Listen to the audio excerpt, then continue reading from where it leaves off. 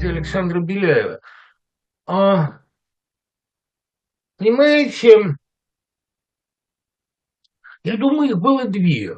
Ну, собственно, они связаны. А Александр Беляев умер в оккупации. Он не мог уехать из Пушкина, занятого немцами. Из-за болезни позвоночника он э, был полупарализован, да, оперируя таким штампом, прикован к постели. И э, я думаю, что умирать под оккупацией без э, точного понимания ситуации, без мобильности какой-то, с верой в победу, безусловно, но абсолютно без представления, чего это будет стоить. Он же умер в 1942 году, когда еще очень неопределенным был сюжет войны. Было непонятно, какой ценой заплатит Россия. Цена оказалась катастрофической, чудовищной. Но для Беляева, я думаю, еще одной трагедией было то, что, видите ли, вот он редкий пример по складу своего дарования утопист. Он человек, рожденный писать утопию. В свое время Илья Новиков, главред Ардиса, предложил мне начитать, а я очень любил начитывать, это было мое, наверное, любимое хобби в России. Хобби, кстати, неплохо оплачиваемое. Вот это, пожалуй, единственное занятие, по которому я сильно скучаю. Но я сейчас с помощью нового микрофона буду это возобновлять в Штатах. Он а, предложил мне начитать подборку ранних рассказов Беляева конца 20-х.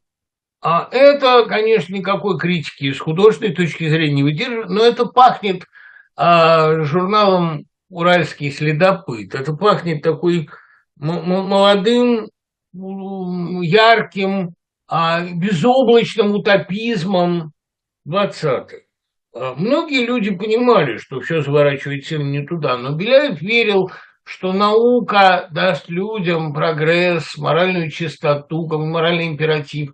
Ну и вот там есть замечательный рассказ, например, про слона, которому вживили человеческий мозг. Мы понимаем, что это абсолютно утопично, ну и ну, антинаучно. Но а, это удивительно, повесть целая, удивительно смешно и трогательно и мило.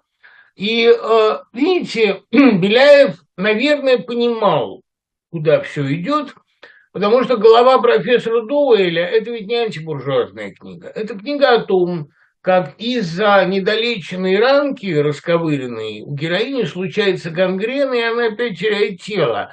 А на теле России было слишком много вот этих незалеченных ранок, будущих гангрен. И, к сожалению, пересадить а, голову на тело чужое, там история, когда это уличная танцовщица а, становится там, ей пересаживают тело знаменитой певицы, погибшей в аварии, она, ну и она, собственно, и погибла из-за того, что пошла на танцы, и ранка у нее, это, значит, от перенапряжения загноилась. Там а, не, не удается, условно говоря, к интеллектуальному телу приживить пролетарскую голову. Ведь, собственно говоря, Булгаков работал абсолютно в том же русле, что и Беляев. Просто Булгаков писатель качественно более а, безусловно, одаренный и просто на грани гениальности, а Булгаков, э, то есть Абеляев, ну, он невероятно виртуозный изобретательный выдумщик, причем выдумщик и в быту. Его дочка вспоминала, что он придумал мыльный пузырь наполнять дымом сигаретным.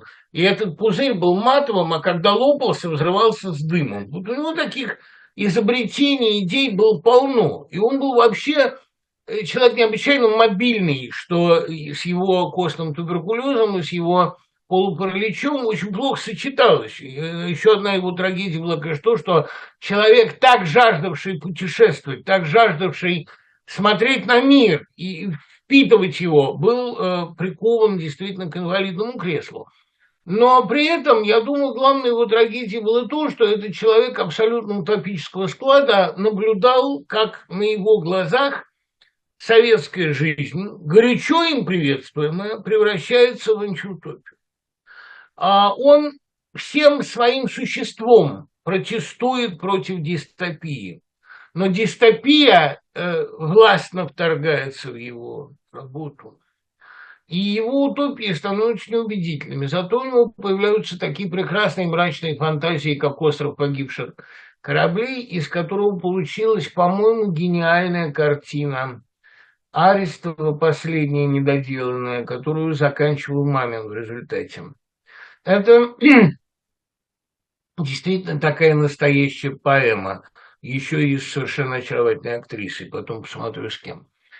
Ну вот, Беляевская трагедия в том, что в отличие, скажем, от Ивана Ефремова, человека очень точного и скептического ума, который все-таки на краю Айкумены писал, конечно, про сталинизм, там сомнений никаких нет, подмененное завещание фараона, жрецы, которые это завещание подменили, Ефремов был, безусловно, в курсе письма к съезду.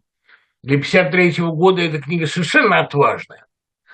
А Беляев был гораздо более мечтатель. И кроме того, в отличие от Ефремова, который был все-таки палеоантрополог, очень крупный ученый, серьезно, можно сказать, один из основателей а, палеоантропологии, а, если не первый вообще а, большой ученый в этой области, Беляев ведь ученым не был совсем. Его фантазия ничем не была стеснена.